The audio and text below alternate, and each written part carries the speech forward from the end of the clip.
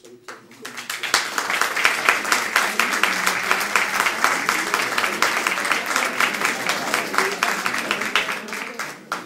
Il professor Ska è belga di nascita, è nato in una città di un mio carissimo amico, direi maestro e, e, e quasi collega, l'attuale cardinale Julien Ries, che quando io studiavo a Rovagno era presidente dell'istituto orientalista e mi invitò proprio ad Arlon a colazione due volte, andammo in macchina da Rovagno, era ancora Leuven e poi Louvain-la-Neuve il padre è nato appunto in Belgio, si è formato in Belgio e in Germania, a Francoforte, e poi ha, ha, conseguito il dottorato proprio a Roma, fra la Gregoriana e il Pontificio Istituto Biblico, dove oggi è professore ordinario di esegesi dell'Antico Testamento e quindi insegna criticamente, scientificamente, ovviamente con un taglio che è anche teologico, l'Antico Testamento, quello che è la, il Tanakh ebraico, la Bibbia ebraica, prima che arrivi l'annuncio cristiano nel Nuovo Testamento. Adesso io non voglio rubare più tempo e lascio la parola al professor Jean-Louis Carr.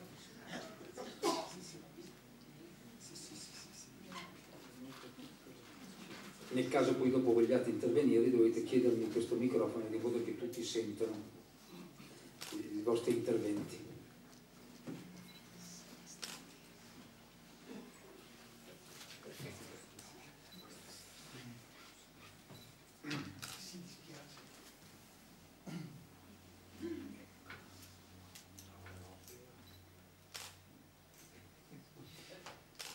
Buonasera a tutti quanti, grazie tanto, vi invito a venire a parlare a Verona, a ritrovare Verona e un certo numero di eh, vecchi amici, a parlare della Torre di Babele. Ho parlato a Verona di molte cose, ma non ho mai parlato della Torre di Babele. E il mio proposito è di proporre un'interpretazione non personale, ma forse un po' originale o meno abituale della, della storia della Torre di Babele. Conoscete la storia, no? si trova al capitolo 11 del libro della Genesi, l'umanità formava ancora una tutti, eh,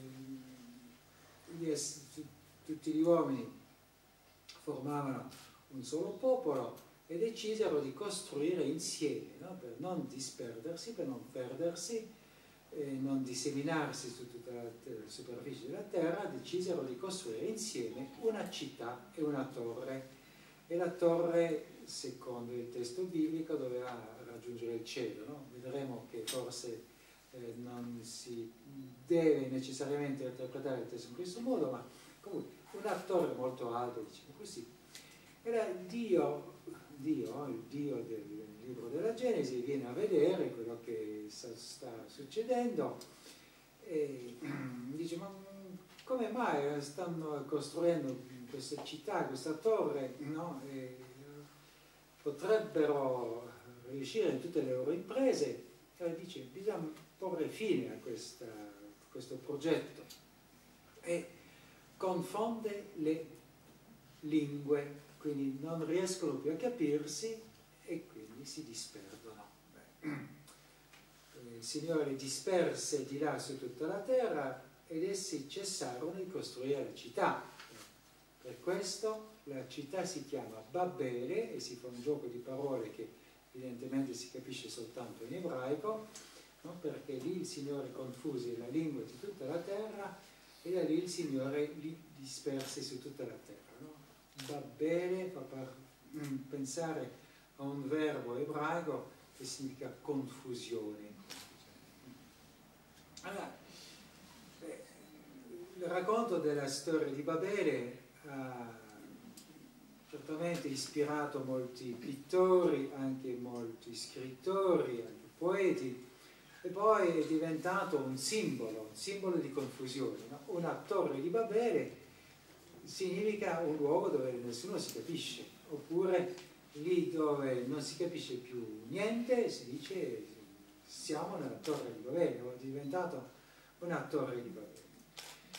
Adesso eh, vi dico che ci sono almeno tre linee di interpretazione. No? Durante la storia dell'esegesi, già in antichità, eh, gli esegeti o coloro che hanno interpretato il testo biblico eh, l'hanno interpretato in almeno tre modi diversi. Poi ci sono eh, tutte le sfumature possibili e immaginabili tra queste tre direzioni principali. La prima interpretazione, quella forse più comune, quella più conosciuta, è di dire che eh, abbiamo qui un racconto, uno dei tanti racconti dell'inizio del libro della Genesi, che descrive un peccato e il suo castigo, no? delitto e castigo. Avremmo il primo esempio nel capitolo 3 del libro della Genesi, il peccato, la colpa dei primi genitori, castigo e sono cacciati via dal giardino di Eden, dal paradiso.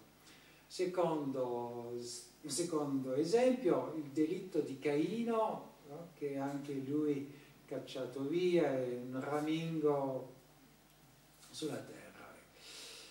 E poi c'è la storia del diluvio, l'umanità è corrotta, castigo il diluvio, no? E avremmo un altro esempio di delitto e castigo, ma qual è il delitto? Sarebbe l'orgoglio, la presunzione di un'umanità che vuole raggiungere con le proprie forze il cielo. No? Costruiscono una città e una torre la cui cima doveva essere in cielo. L'umanità cerca di raggiungere il cielo. Avremo qui un esempio di quello che è la religione secondo Dietrich Bonhoeffer, no? la religione è lo sforzo dell'umanità di raggiungere Dio, mentre la fede è Dio che raggiunge l'umanità, no? è la vera eh, religione, si potrebbe dire così, o il vero atteggiamento di fronte a Dio, secondo Bonhoeffer, sarebbe la fede, non la religione, no?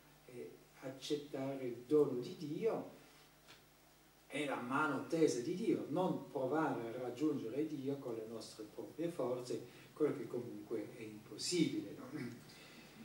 Quindi avremmo un racconto di delitto e castigo e il delitto sarebbe eh, l'orgoglio, l'orgoglio dell'umanità che vuole diventare come Dio, che vuole eh, sì, raggiungere il mondo celeste e avremmo un altro esempio di quello che sarebbe stato, secondo alcuni, almeno il peccato della prima coppia di Adamo ed Eva, hanno voluto diventare come Dio, no? è quello che dice il famoso serpente. Quella interpretazione è molto antica, la ritroviamo già nel eh, libro dei Giubilei. Il libro dei Giubilei non fa parte della Bibbia, è un cosiddetto apocrifo ebraico che riprende il libro della Genesi e racconta di nuovo il libro della Genesi aggiungendo una serie di commenti, è scritto nel secondo secolo a.C. Nel secondo secolo a.C. si parla già di quel eh, peccato di orgoglio, di presunzione e del castigo di Dio che confonde le lingue e quindi impedisce all'umanità di raggiungere il cielo. Seconda interpretazione, anche molto antica, risale a Flavio Giuseppe, primo secolo d.C. E di dire il peccato, c'è di nuovo un peccato, un peccato è un castigo di Dio, la confusione delle lingue, la dispersione per tutta la terra, però il peccato non è più un peccato proprio contro Dio, è un peccato più, direi, profano, no? sarebbe l'imperialismo questo è basato su un'analisi accurata e rigorosa del linguaggio, di alcune espressioni del racconto, specialmente della prima frase.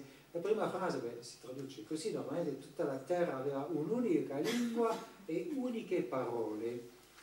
Eh, secondo diversi esegeti, infatti Emanuele Testa, un antico, cioè antico, un commentario al libro della Genesi dell'inizio del secolo passato, non nel Novecento, quindi non è così antico, ma dopo Cristo dico subito.